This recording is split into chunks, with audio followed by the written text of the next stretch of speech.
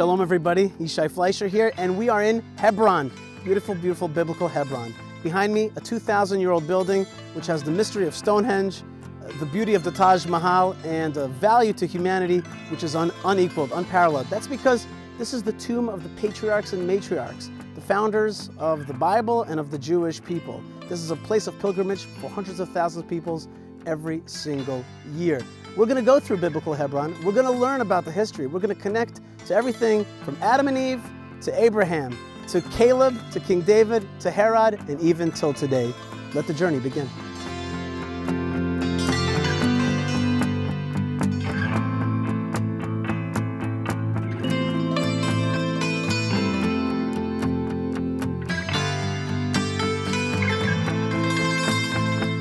All right, folks, I'm here with Noam Arnon, who is the legendary spokesman of the Jewish community of Hebron, Hebron, and also a scholar and a historian of the Ma'arat Machpelah, the tomb of the patriarchs and matriarchs. Maybe, Noam, you could shed some light on the mystery of this building.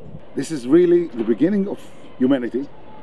As the Bible said, and ancient uh, Jewish sources tell us that Adam Harishon, Adam first, the first man in the world, he was the first to understand and to feel the importance of this place, the holiness of this place, because what he felt here was the entrance of the Garden of Eden, Gan Eden in Hebrew. This is why he dug the cave in order to return to Gan Eden, but you know, he was expelled. It was forbidden for him to return. Right. This is how this cave was created. This is where Adam and his wife, Chava, Eve, were buried. And then the cave was closed no one knew about that until Abraham Avinu, Abraham. He came here, and according to Jewish sources, Abraham went into the cave where he saw a special light. He felt a special smell and feelings. He heard the angels singing in the Garden of Eden, and this is why Abraham desired to purchase this place in order somehow to be connected to this special, you know, special experience that he felt.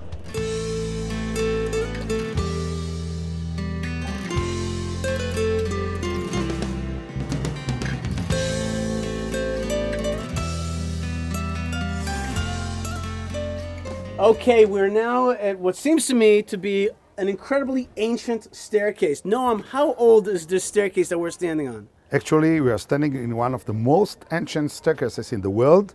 It's as though it was built yesterday. It's really it's That's fantastic. right. Well, it goes back to the early Bronze, to the Ibi, you know, early Bronze Age.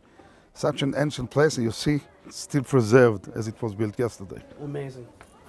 The age of this staircase is about 45 centuries ago. I mean, 4,500 years ago. Okay, wait a minute, wait a minute. 4,500 years ago is about 700 years before Abraham was even here. That's right. When Abraham came to Hebron, this was already a built and very rich town. I can imagine Abraham and Isaac walking here, climbing the steps, and Isaac said, Dad, when this wall was built? And Abraham said, Oh, my son, it's very ancient wall. Wow. It's 700 years old now. Now you know this, the steps, they led to the gate of the town. The gate of the town is a very important place. The people were sitting there, the people were gathering and talking. This is where the highest decisions of the town were made. So this staircase led to the gate, which was somewhere up there of ancient Hebron. Absolutely right. Okay, so Abraham comes here 3,800 years ago. His wife Sarah passes away. The book of Genesis tells us that he's going to negotiate to purchase a plot here in Hebron to bury her. That's right. As we read in the Bible, Abraham was negotiating with the people of Hebron, the Hittim, the Hittites. They belong to the Canaanites, to the Canaanim. And he begged for them one thing I want a cave to purchase, to buy a land that will be mine. I want to bury Sarah in our family plot. So he didn't want to receive it as a gift, and the Bible is going to record a kind of interchange and negotiation between himself and Ephron the Hittite. And Ephron is going to say, Here, I've given it to you as a present. You're a very important person amongst us. You're a prince of God. Here, I give it to you in an honorific Middle Eastern fashion. I give it to you. Abraham says, No, I don't want you to give me any presents. Of course not. Abraham insisted on paying money, I mean silver, for the place, for the land. He wanted this place to be his own. Not as a gift of anybody of somebody else, but to be his property for himself, for his family, and for the people, for the nation that would rise fr- from him and on.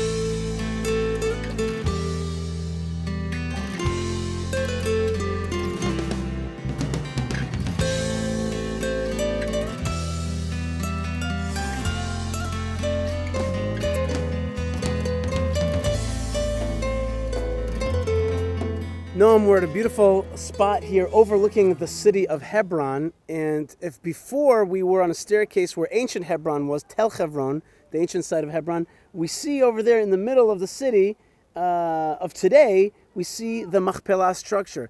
This is the structure that King Herod built atop of the tombs of Abraham, Isaac, and Jacob, and, and the matriarchs as well. But I'm guessing that this is not where town was, where the city was in the ancient days. Exactly. This is Emek Hebron, the valley of Hebron. All this area was the fields of the town. The town was here on the top of the mountain. Imagine all this area are fields around.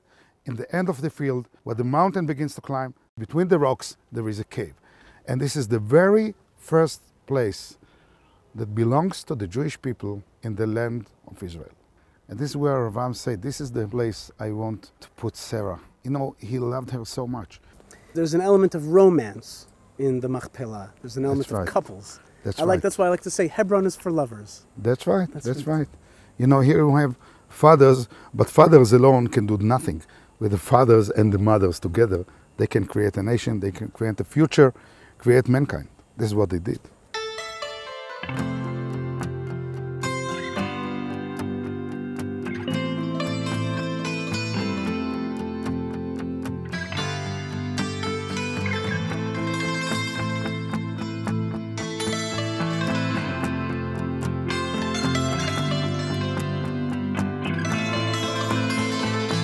Okay, Noam, we have made it back down to the Ma'arat Machpelah itself, to this monumental tomb structure. Uh, we went through Abraham, why he buried Sarah here and the rest of the biblical family. We talked about Adam and Eve being here even before that. Now we're at the Second Temple period, and this strange king, Herod, decides to build this building. Who is Herod? Why does he build this? Well, Herod, as you said, quite a strange personality. Actually, was a very ambitious and, uh, by the way, a very successful king. He ruled on Judea 33 years under the Roman Empire.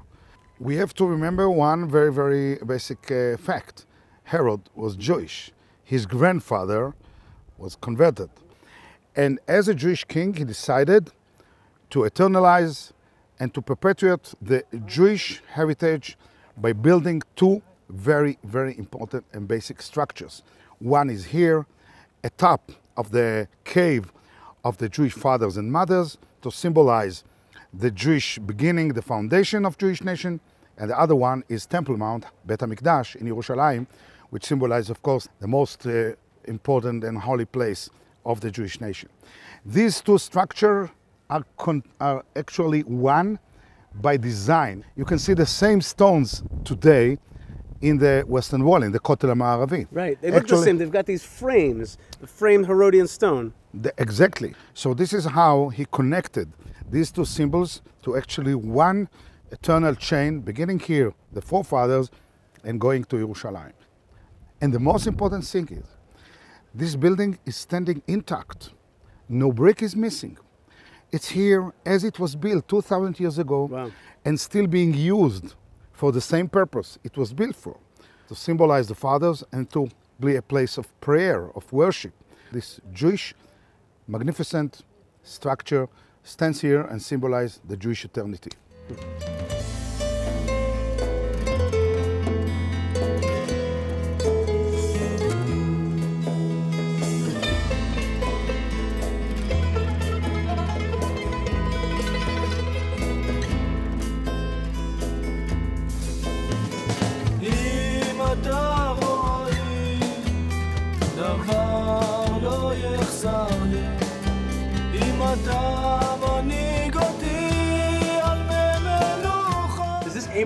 Well, this is not the tomb. This is why it doesn't say Kever Avraham Avinu, but Zion. Zion is a marker. Zion is a memorial. And this is really the memorial, the cenotaph of Abraham. It's not the tomb. The tomb is there in the cave, five stories beneath. This is a symbol of Abraham to make the people who come here to think about the personalities of the fathers and mothers. When people come here and they see this symbol, begin to think, who is Abraham? Abraham was the founder of human faith, of believing one God, of understanding the world. He founded the Abrahamic religions that today most of the world actually believes in the way of Abraham.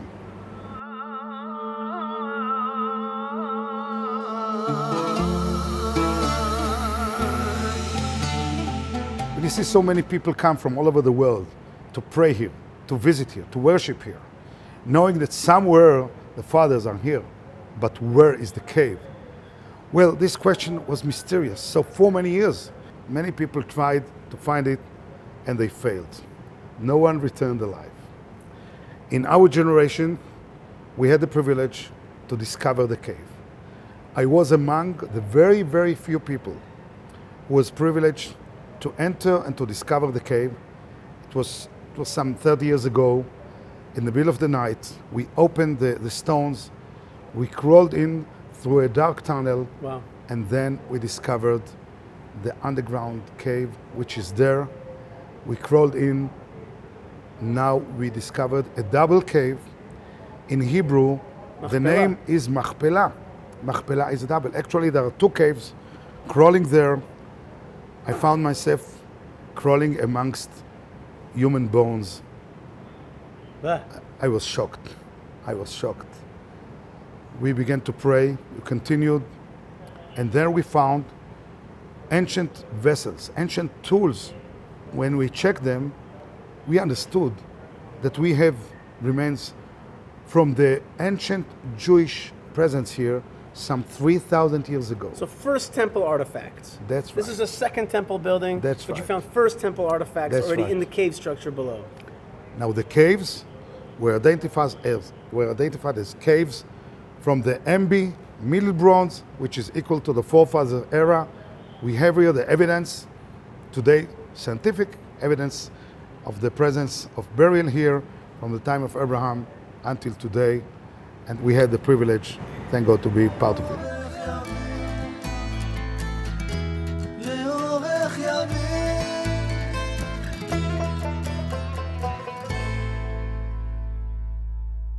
Okay, Noam, right now we're next to the cenotaph, the Tziyun, the memorial of Jacob. You know, the book of Genesis ends with Jacob uh, talking to his children, and this was not in the land of Israel, but in Egypt.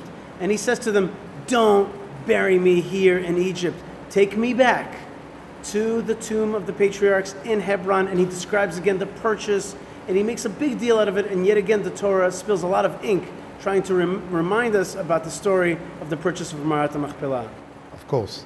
Jacob, in his last will and testimony, Jacob decided to say to his children one thing take me home, return me back to where my fathers are.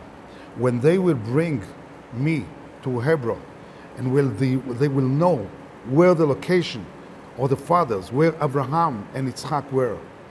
This will connect them to the idea, to the faith. You see, the children of Jacob are the children of Israel. We are the children of Israel. We are Israel. We continue Jacob. And when we established a state, we called it State of Israel. And today I feel that we, the children of Israel, return to Jacob saying, Father, you see, we have returned. We have come back home. We came back.